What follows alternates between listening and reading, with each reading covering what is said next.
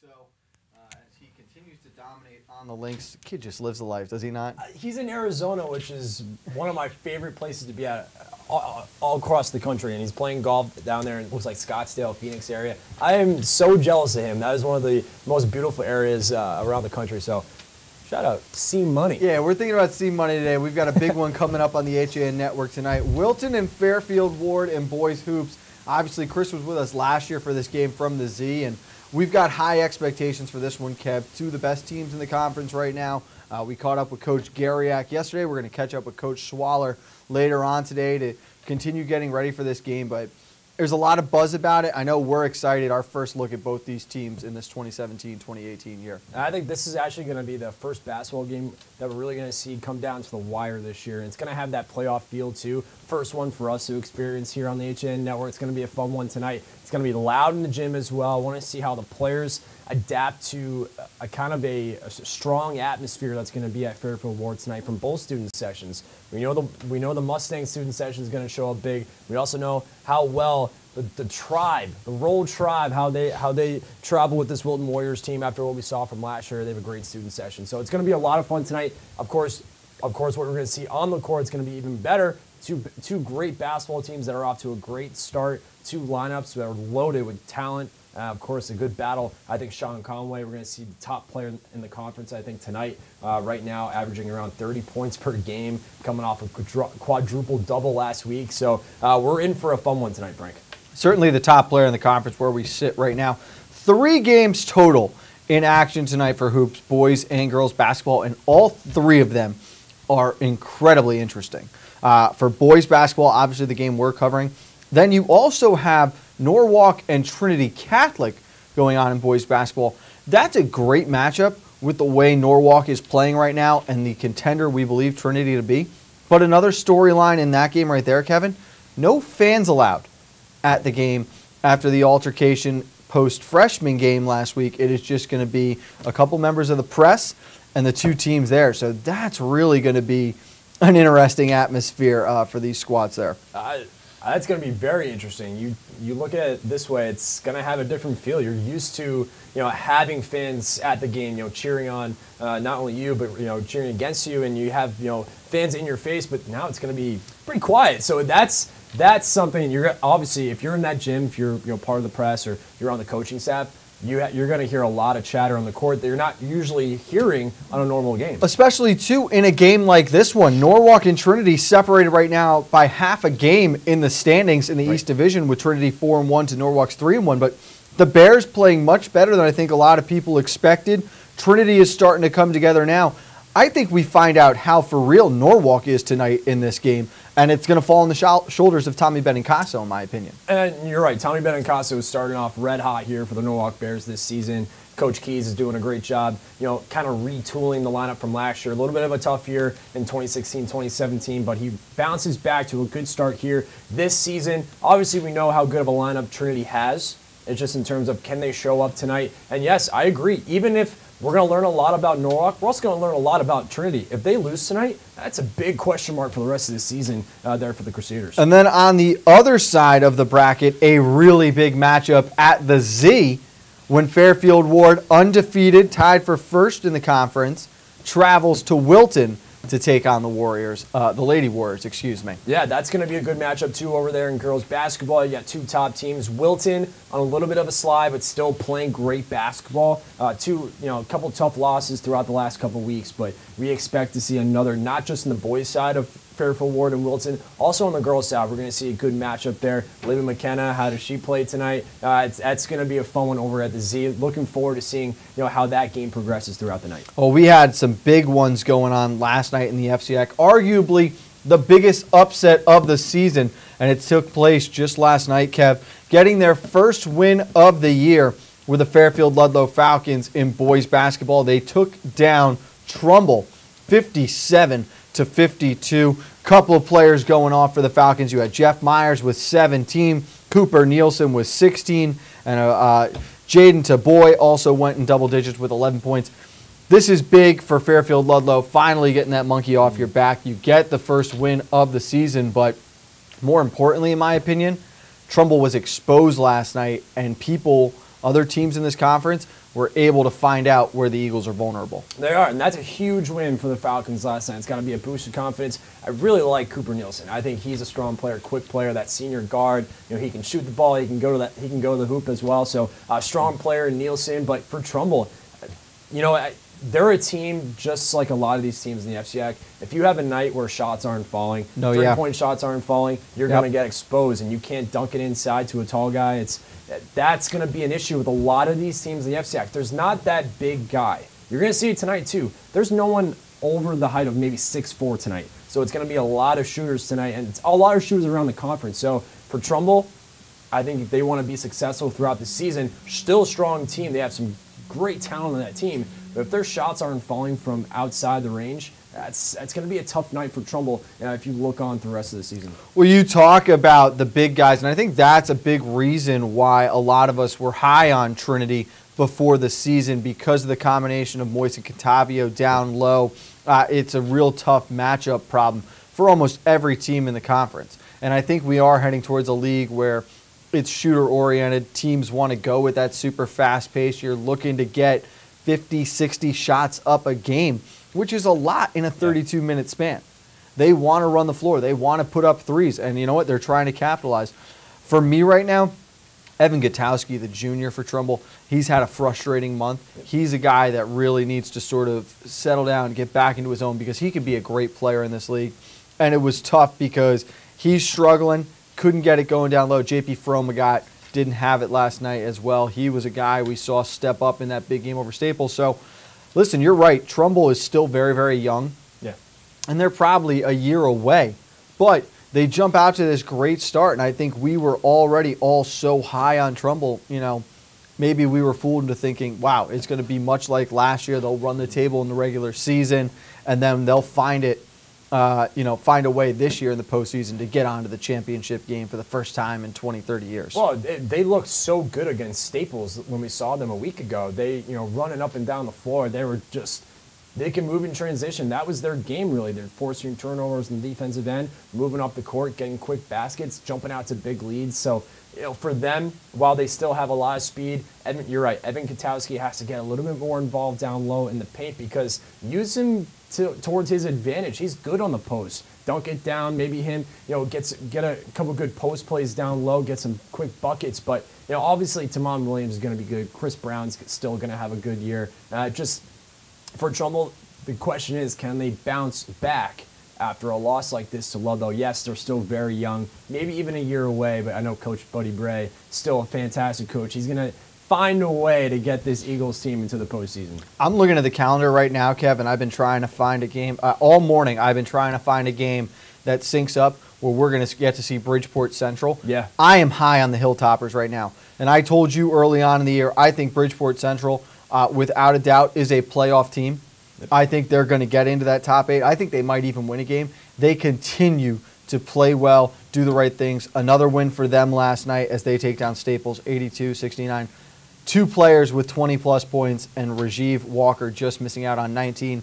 Uh, Dejan Fulton leading all Central players with 21. Raycon Riley, Riley, excuse me, with 20 points there. The Hilltoppers are starting to look like a Bridgeport team of the past when the city schools really used to dominate this oh, conference. I, th- it was such good basketball when those cities, when those city teams you, dominated. Yeah. Oh, that was some great basketball, and it's good to see Bridgeport Central is back here, and the girls teams too is girls still hanging that, in there. They're still playing well. So for Central, they're legit. They're gonna. I have full faith that they're making the FCIAC postseason. I think they're even gonna make a state berth as well. So without a doubt, Central is a playoff team this year. They're a scary team to play against because they're athletic. They can move the ball up and down the floor. They can shoot. They can do it all, and they can move in transition. That I, I remember when we were at that Central girls game when they played McMahon. The boys team practice after took a quick little, you know, five minute glance at their practice. These boys can run. They can run fast. They work hard. They're get to the dirty areas. They're doing a really good job. Uh, as we get a look at the rest of that central schedule right there, maybe at home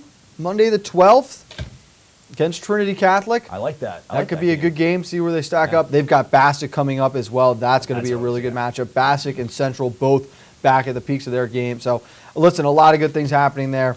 Uh, we're going to take a break shortly here. We've got Coach Ryan Swallers about to join us. I do want to give a shout out, though. because you know I'm on them, and I've got them very, very close to getting into that top eight for the tournament. The Lady Falcons out of Ludlowe, giving Trumbull lots of fits last night. They fell 42 35. Uh, and a big part of that really was a big run by Trumbull in the third quarter, where they outscored Ludlowe by eight. I'll let that's, you do the math on that that's, one. That's the difference right there. Uh, but I tell you what, you know, this is a Trump, this is a Ludlowe team right now that plays very, very good defense. They are hard workers.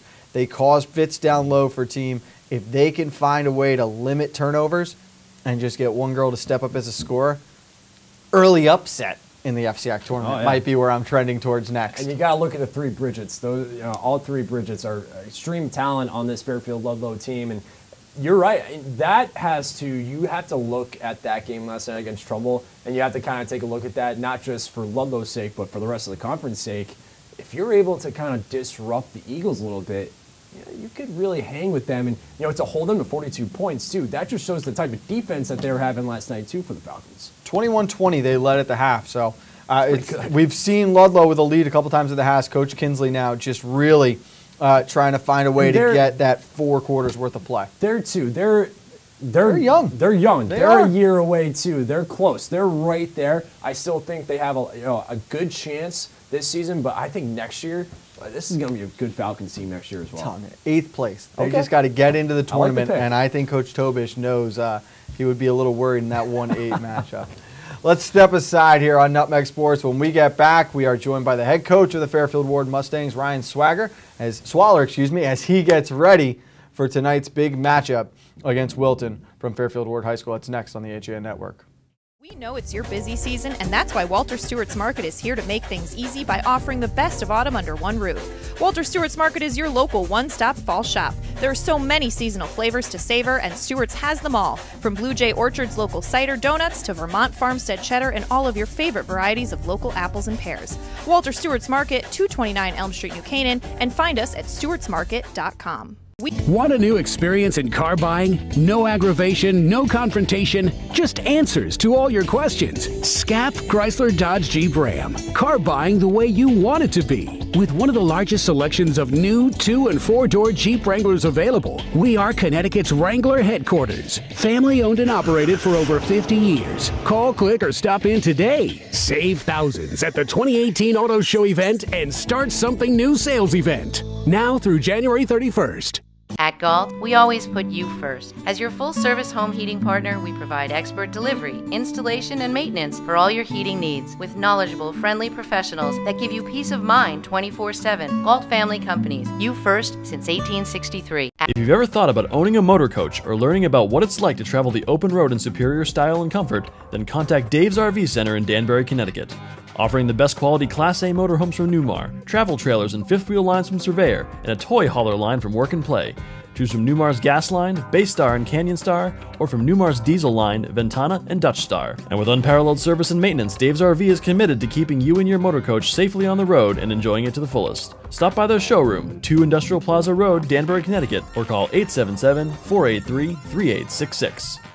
If you've ever had a sports injury or slip and fall that needs immediate care, Coastal Orthopedics Walk In Urgent Care gives you direct access to orthopedic specialists fast without an appointment. Biking, golf, tennis, soccer, whatever the sports injury is, sprain or fracture, Coastal Orthopedics Walk In Urgent Care can help. Open seven days a week now at three locations the iPark Building at 761 Main Avenue, Norwalk, 36 Old Kings Highway South in Darien, or in the Westport Medical Center at 323 Riverside Avenue, Westport. Go to coastalorthoct.com, like them on Facebook. We know it's your business. Welcome back to Nutmeg Sports on the HAN Network. Thursday, January 18th, as we continue to get ready for tonight's big basketball game in the FCIAC. Fairfield Warde hosting the Wilton Warriors. Frank Granito alongside Kevin Coleman in studio, and we are very happy to welcome on now the head coach of the Fairfield Warde Mustangs. He is Coach Ryan Swaller. And Coach, thank you so much for taking time with us this afternoon. Uh, happy to speak with you. What a great start it has been for the Fairfield Warde Mustangs this season. Yeah, it has. And before then, just thank you for having me on, uh, Frank and Kevin as well. Um, you know, we're off to a, a, good start. You know, at six and two, and you know, undefeated in FCX. So, being here, you know, our expectations were to be out this level, but we're playing well. You know, we continue to, uh, you know, just keep getting better each day. Uh, six and two. You mentioned undefeated in FCX. You guys are riding a five-game win streak. Your last loss, that tough one against Fairfield Prep. I, I mean, what changed amongst this team after that prep game that night that you guys are really feeling it right now? Uh, I think the focus of what we uh, started to instill even more than we did before the prep game was defense. I mean, prep team scoring 87 points was just way too many points um, to give up, especially if you wanted to, you know, have a successful season throughout the year. Defense became a focus, so we spent more than half our time at practice focused on defense. You know, from that point forward, and I feel that we've been a better job of uh, defensively stopping people, and obviously still continue to score the ball. You know, as we've been throughout the year. And coach, I think one of the biggest stories obviously has to be Sean Conway, the senior captain for you this year, leading the league, leading the conference in scoring, averaging just around 30 points per game. How is he? How is he making your job and your life much easier when he's on the basketball court for you so far this season? Yeah, he. I mean, he's a complete player. Um, the ability to score the ball is obviously standing out now, where he's shooting the ball well. You know, he's getting the free throw line. He's scoring the ball. Um, what isn't as, I guess, noticeable, but I've always seen it as a player is his ability to get the rebound between defense and offensively and control the boards. Um, you know, for me, I just know that with him on the floor, good decisions be made. Um, you know, he'll find the open guy. You know, we have five, six guys could knock down the three. It just makes life a little easier knowing that you have, you know, a playmaker on the floor to do a variety of things.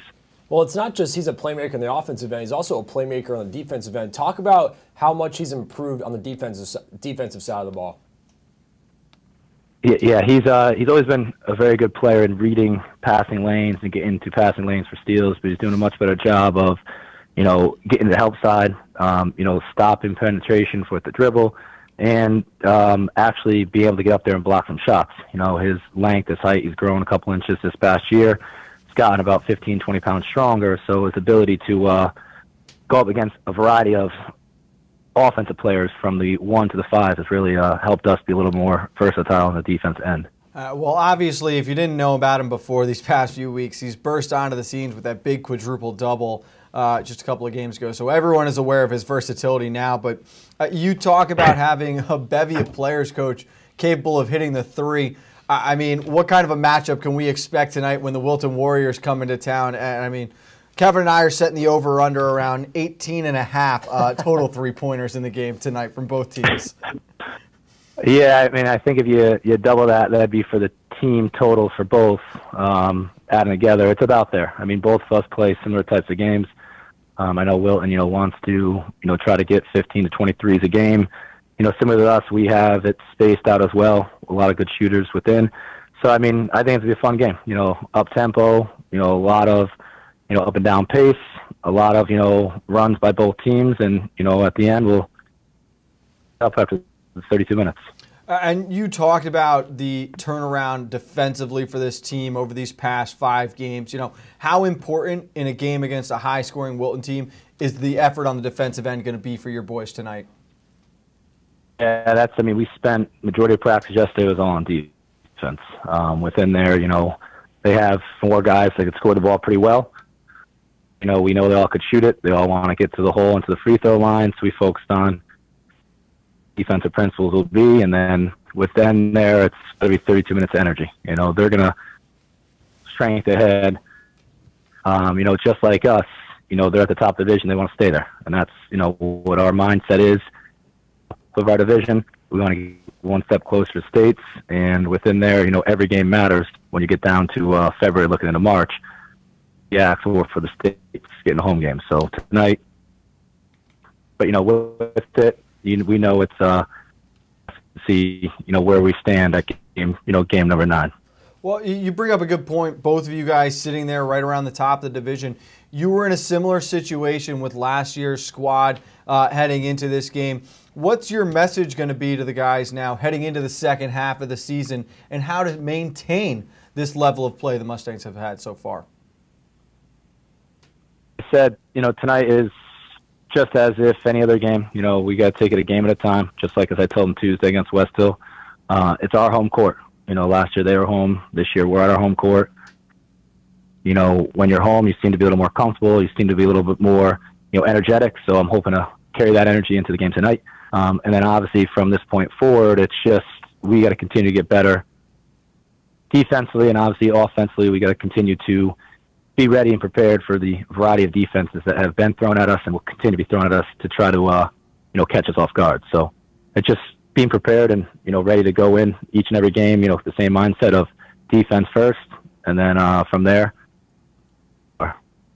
And coach, two players that kind of stick out to me are Dan Fitzpatrick and Jeff Saganos for you. The junior Saganos has stepped up big and played some good minutes for the Mustangs and for your team this year. And how, especially during this week, getting ready for this game tonight against the Wilton Warriors, how do you prepare your team emotionally? How to keep their emotions in check? Obviously, it's going to be a big crowd. We know the Wilton student section travels well. Your student section is going to show up in numbers. How do you remind your team to kind of keep those emotions in check? Yeah, I mean, with the, the two players you mentioned, Danny and uh, Jeff have both, you know, been great. You know, one distribute the ball when needed, knock down the open shot, and uh, you know, Jeff particularly defensively has really stepped up the last few games for us, um, and being a defensive kind of specialist. Um, within there, you know, the energy is going to be there, so it's kind of just keeping them, I guess you'd say, contained until the tip. You don't want to use too much energy in the warm ups with the crowd um, but as I said, it's a it's a great opportunity to kind of you know we plan on playing you know late into the season throughout, so it's a great opportunity for the crowds that will be experiencing going into hopefully the FCX and going into the states. That you know for us we'll, we'll learn from it. So we'll we'll see how we are, but I know I don't have to worry about them bringing their energy level up because I know we'll be there from the, the tip to to the end of the game. Uh, well, my last question for you is: as you talk about playing deep into the end of the season. Uh, you guys were in the FCIAC and state tournament last year. You know, if this team is going to find themselves playing for an FCIAC championship or going on a run in the state tournament, what is special about this year's group that stood out to you so far?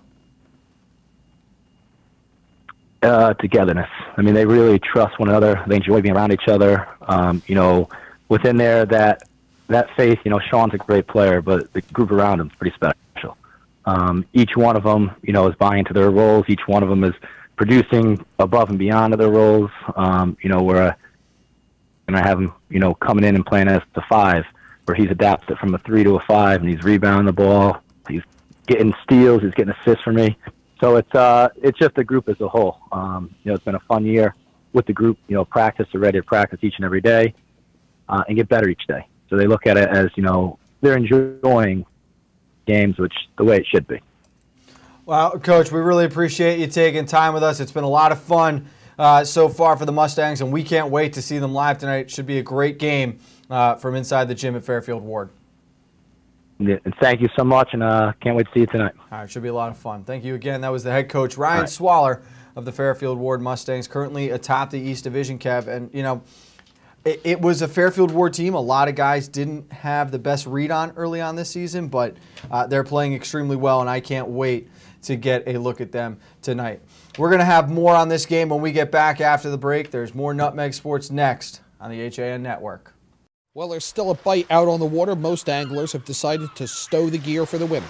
Just because Mother Nature isn't cooperating doesn't mean you can't see the latest models of all your favorite gear. With two convenient locations, it couldn't be easier to get your fix of summer.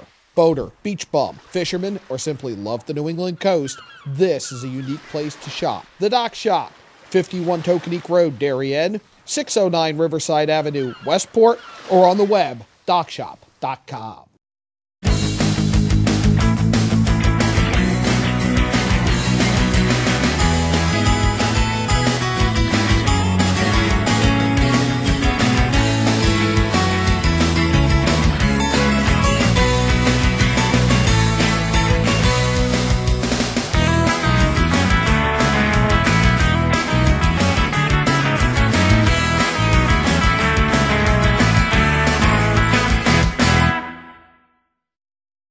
At Rings End, we say it's time to re-love your home.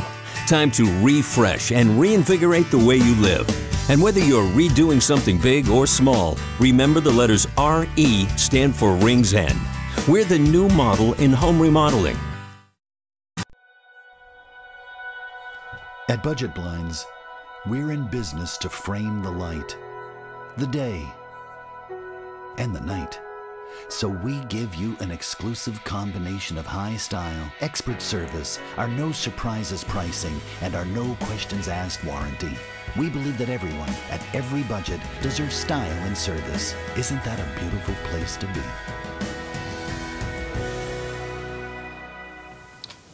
Our thanks again to Coach Swaller, and we look forward to seeing him and the Mustangs tonight. 7 p.m. tip-off, as we mentioned, 6:50. Kevin and I are on the air, and Kev, just a couple minutes left here. Let's look ahead to tonight. Couple key things I think in today's uh, tonight's game I want to look out for. Number one is obviously going to be three-point shooting.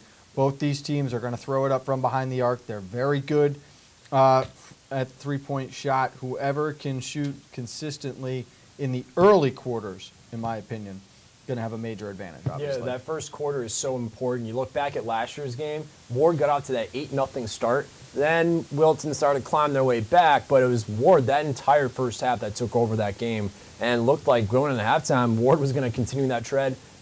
Now, Wilton in the second half picked things up. They were hitting their shots. So tonight, with Wilton being on the road last year, they were at the Z. Wilton's got to hit their shots early on, force some turnovers. Take Conway out of the game if you're the Wilton Warriors. Now, if you're the Warde Mustangs, Conway, obviously, you know, is going to be a big factor, but it's the guys like Dan Fitzpatrick and Jeff Saganos, the junior, my X factor tonight. I think he's going to come up with some big buckets tonight as well. And of course, on, on Wilton's side, a guy who is off to a fantastic start is Scott Cunningham. I mean, the guy is playing lights out basketball right now. So uh, a lot of shooters tonight. So it's it could be. I think it's going to be fast paced. A lot of three point shooting. Uh, I want to see how they do rebounding as well, pushing the floor, pushing the tempo. So it is going to be a really fun matchup tonight. You mentioned rebounding and a big turning point in last year's game because we talked about it. Warde really had that game in its grasp. Could have put the sucked the life out of the Z early on Yeah. in the third.